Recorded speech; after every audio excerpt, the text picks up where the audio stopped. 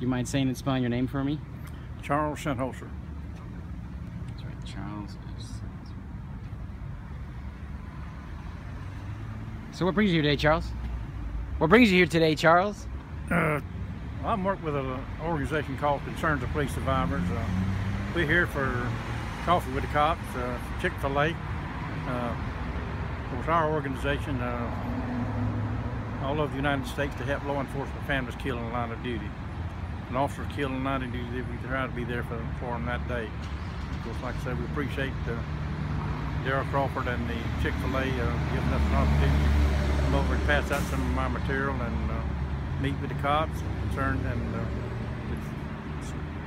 promote this great organization. Can you tell me more about your organization? Like, how important is your organization to the families and to cops?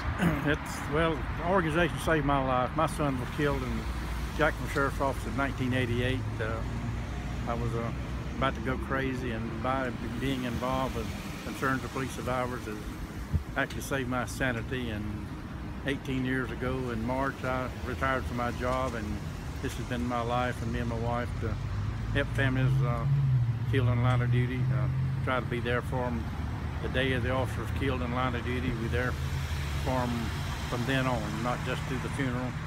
Uh, that's our goal is to see that the families are taken care of.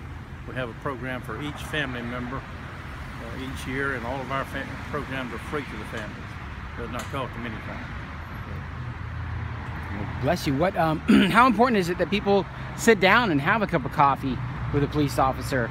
Well, it's very important to the, to the families. The people like to like to sit down and talk to law enforcement people.